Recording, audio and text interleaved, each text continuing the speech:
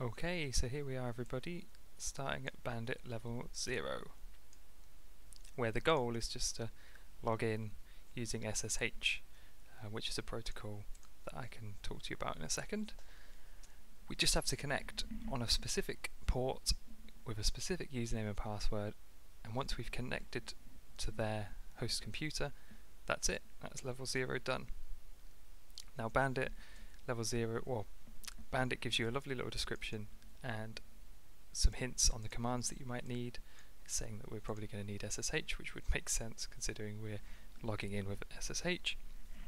And it gives us a little bit of reading material as well, uh, which I would definitely recommend reading, like at least this Wikipedia page, just so that we can start to build up an idea of of some of the the applications we're going to use, and, and also because all of this sort of stuff really, at least in my experience, really heavily relies on you being motivated enough to to look things up, to research, to find loads of articles and and, and delve really deep into this stuff and, and amass quite a breadth of knowledge, or at least that's the way it's appeared to me.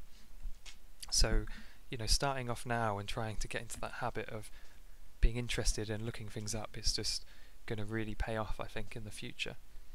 Um, okay, with that being said, I'll talk to you a little bit about SSH. So SSH stands for Secure Shell.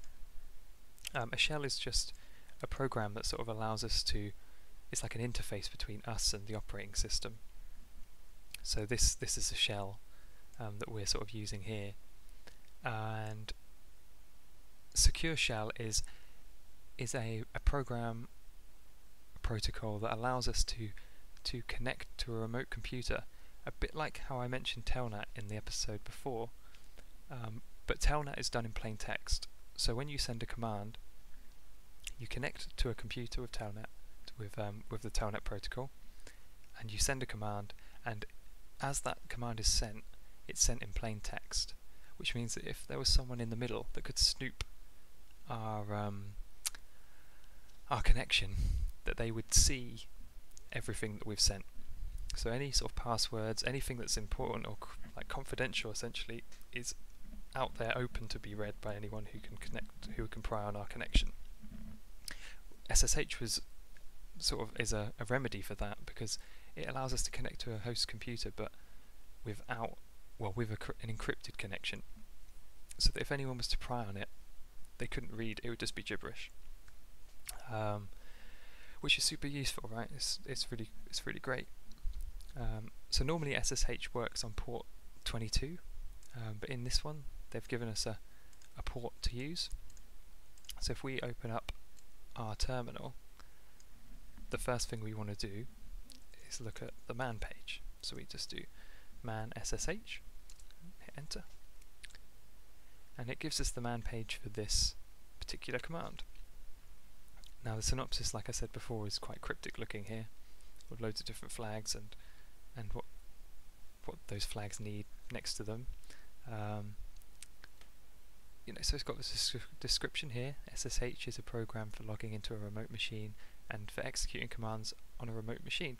It is intended to provide secure encrypted communications between two untrusted hosts over an insecure network. Um, yeah, which is brilliant. That's what we want to do. We want to connect and here's some flags. So one thing I can show you is if you see, where is it? Ah, here, this flag. P for port. So we know we need to connect on port 2220, so we're probably going to have to use this flag. And we can find that flag down here. Scroll away. So they're quite big, these man pages. Right, so yeah, the flag P followed by a port number allows us to specify to, to the program that we want to connect to that particular port. Um, like I said, SSH is normally um, its default set to 22. Um, there's these well-known port numbers that, that you'll get you very used to using. So if we weren't to specify the port, it would try and connect on port 22, so the, it's the computer we specify, um, which we don't want to do let's come out of this. So I will show you the uh, the syntax for connecting. Um, we're going to use this every single every single exercise, so you'll be used to it very quickly. Um, so we have SSH to begin with, and we're connecting with the username bandit0, so like this, and then we put at, and then the host name, which is bandit.labs.overthewire.org.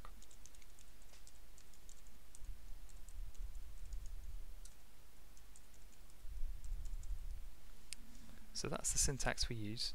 The username followed by the host.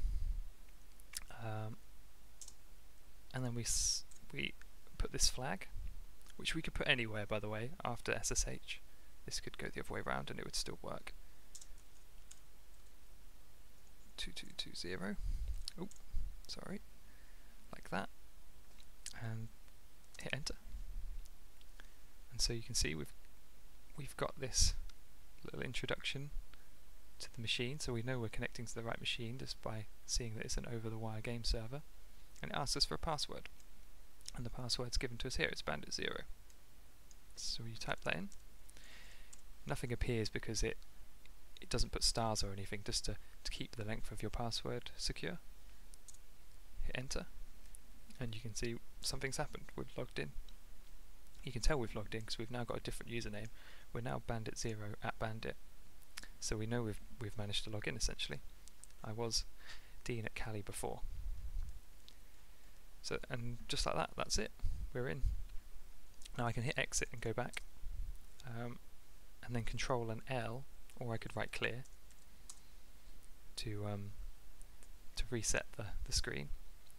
Another way we could log in if you look at the flags, just get used to looking at these flags and seeing what they, they might potentially mean. We've also got this, this L flag here for a login name.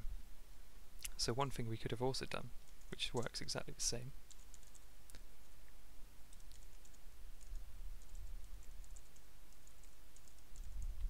is now we've not got the username with an at sign, um, and we could just specify a username this way.